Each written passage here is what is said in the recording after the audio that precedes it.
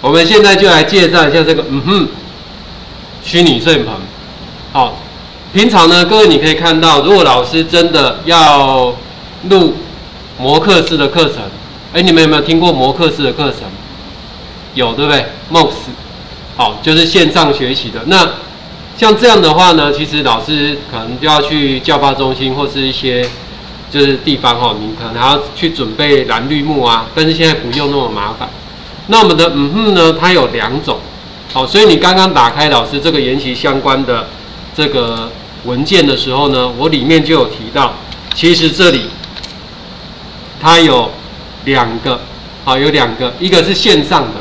有没有一个繁体中文线上版？另外一个就是我们今天会用到旧版的 Windows 的版本。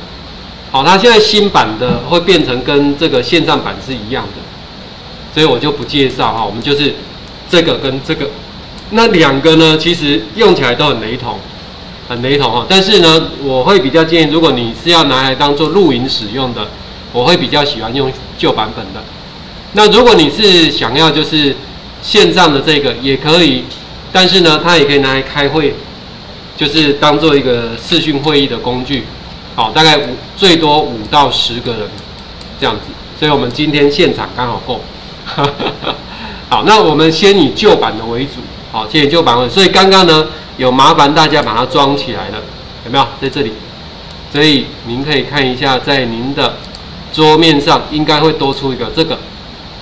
好，装完了之后有这个，那。现在这个呢，我们打开就长得像这样。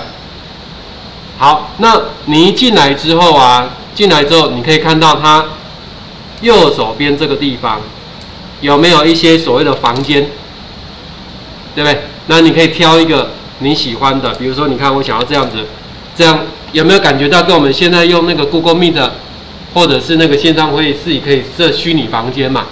对不对？哎，像这样子哈，那。你如果不喜欢这里面的，没关系，上面还有，有没有其他房间？你可以再来挑一下，看你有没有其他的这个比较喜欢，因为它的还蛮多的，你看，而且这都都有中文，对不对？所以如果你想要变成新闻主播，你应该知道怎么做了吧？点下去就把它加进来。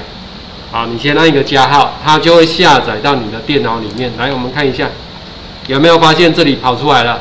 按下去，这样是不是就有了？好，那我可以坐进去了吗？好，我在这里我就先把它收起来。那我就从这边，你看，各位，你们的右上角这里有没有相机？你去找到你的那一台相机。原则上，因为我两台，所以。哎，各位同学，我们有没有就来到新闻现场了？哈哈哈哈这样会不会太快？不会。好，挑好你的房间，给你，给你，给你，我们要开会的。觉得我去背的效果比较好一点吗？你知道我后面是什么颜色吗？你有没有感觉我后面比较单纯？对不对？你们后面可能都有电脑啦，或者一些。它去的效果就稍微比较差。那我们先来看一下，如果你觉得我做做这样太大只了，请到右上角这里有没有个简报者？好，我们点它一下。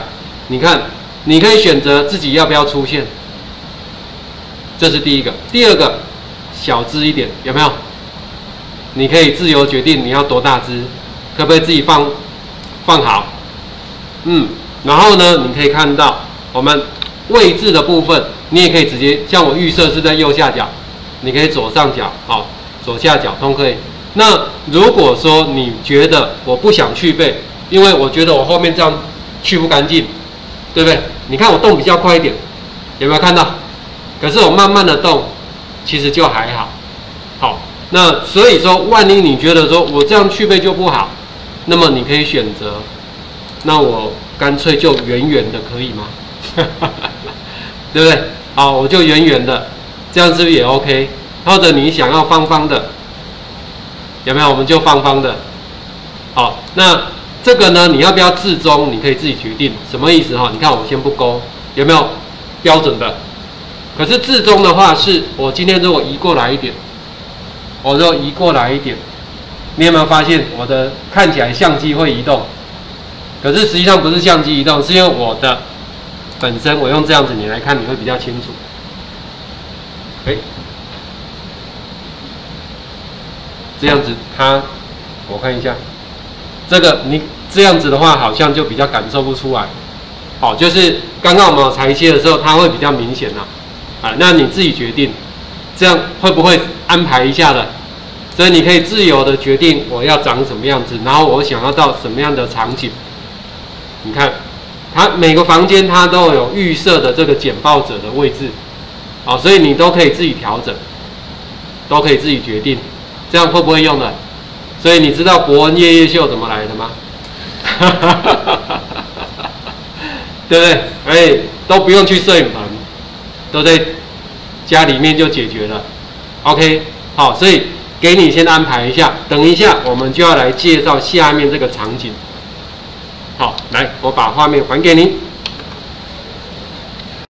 现在我们就真的准备要来上课啦。那你刚刚看到的就是你的房间，你的投影。那么你看我们下面这个地方，下面这里它有一个东西叫做场景。那场景的话呢，就是你去安排。好，比如说我上课之前。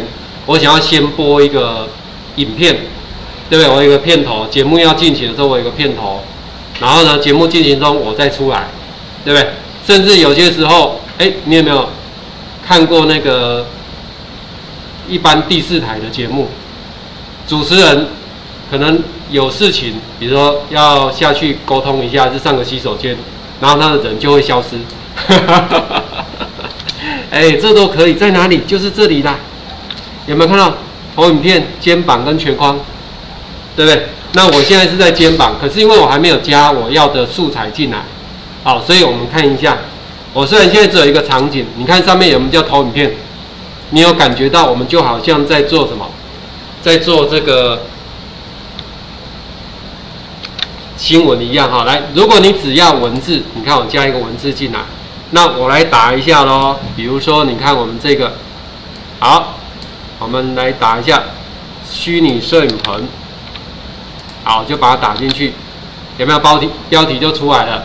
那如果你需要有另外一个内容，我还可以把这个地方这里我再加一下，这个是小标题。好，那你看完成有没有我的这样就有一个标题进来了。那这个标题呢？你看一开始在这里，现在有没有加我？好，那这个呢，我可以关闭它，这样是不是就不见了？我也可以把它打开，我也可以让它，哎，你就在我后面，这样了解喽。所以你看哦，我们的投影片，新的投影片，一个是我开场的，一个是加上文字。那再来呢？哎，我还可以再加哦。我们如果想要把简报叫进来，我就把简报叫进来。我也可以做荧幕的分享，好啊，比如说像呃像这边荧幕分享，可能就相对来说，你看我除了全荧幕，我可不可以只抓其中一个？我们浏览器的分页嘛，好，你看我找一个，我看一下哪一个比较方便。好，这诶找到我们的简报，好了，来。这里，这个，那我们看一下喽。好，我把它剪报，应该是这个。哎，这这个这个，好，分享。哎，没有回应，稍等一下下。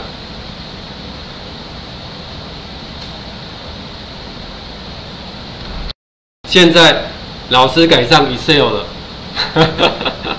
好，简报这个大小改变一下，好，做到右手边来。你看，我现在这个就是把 PowerPoint 汇进来，有没有？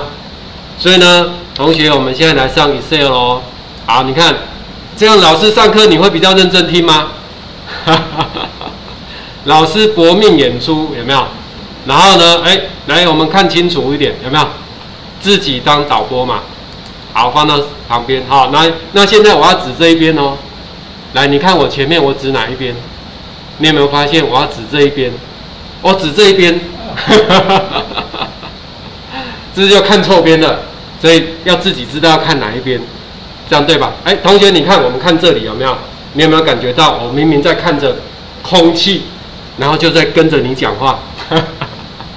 这样可以接受。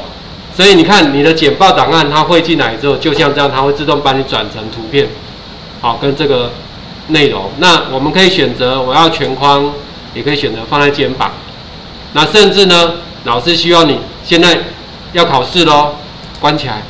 刚刚那一张表格在讲什么？对吧？哎，所以你可以像这样子。那这里呢，我们刚刚所看到的都是在同一个场景里面是在做的。那么你在同一个场景的话呢，其实它的这个位置就是同一个场景就是固定的。我如果今天哎，我想要调到这里来，要调到这里来，我要手动这边移动，这样是不是就比较 low 一点？所以我们跟同学介绍一下，这里有一个叫新场景。这个也就是说呢，你看哦，我按一下新场景，你有没有发现我增加一个投影片进来的？场景好，那里面是投影片。那如果说，哎，我只要交到这个这个地方，我想要它永远都是全框的。那你来看一下，你看我在前面的时候，有没有是这个位置？那我到这里的时候，我全框。那这个时候我想要把老师变大只一点，像这样。好，我这里调完了，你看我回到刚刚这里来，有没有一样的？原本的位置有没有保留下来？可是我进到这里，有没有老师就变大只了？如果能够这样长大，是不是很好？那我继续往下，哎，我们是不是又回到这里？所以你知道场景要做什么用的吗？它帮你记录你现在的这些房间，你的演讲者、简报者的位置，这样清楚喽？哦，所以。今天我如果这一个这里我想要改变，那我也可以来这边，因为现在这个也是场景二，有没有？我把它变成新场景好了。来，我把它变成场景四。你看现在我是不是二三四独立的？所以我点到它，哎，不好意思哦，我在这边想要上这个伯恩夜夜秀了。所以一样的，我把我的位置调整好，大小调整好。那我们在这边讲完了，我们就来这边。今天我们邀请的是某某人，有没有？哎，但是你看，像他在这边配合这个房间的样式，所以他就没有放在肩膀的，有没有发现？我虽然放在肩膀，可是他是不是就是只有这样子？他就没有倾斜。如果你博越优秀这个房间，你也想有刚刚那个倾斜的角度，可不可以调？可以的，在哪里？你看，在房间的上面哦。每一个房间，你看哦，滑过去有没有一个齿轮？你把它按一下，所以你可以透过这里，哎，这里帮我倾斜一下。我想要斜这边，我想要这样子，这样你了解概念了哈。所以。它这些设定就会跟着我们的。房间一起。那你看我这里调整完，回到这里，一样的，回到这边有没有回来？那我们上课也好，录影也好，我就是照这个方式，照你简报的顺序，是不是就一直往下走？这样就可以了。所以这样有没有了解到什么叫做新场景？什么叫投影片？投影片就是放在场景里面的一张一张的。那如果你突然决定了，哎，这个我觉得应该加入这边，这样大家看得比较清楚，请你按着它往旁边丢过来，往这个地方丢过来，有没有丢过来？了？对不对？可是这个的话呢，因为它现在是场景二，你告诉他我要用场景三的设定，有没有合在一起了？所以讲到这里，接下来？这个在这个或者我要调对调顺序，是不是都可以？让你了解概念哦，来？给大家安排一下你的场景，试看看哈。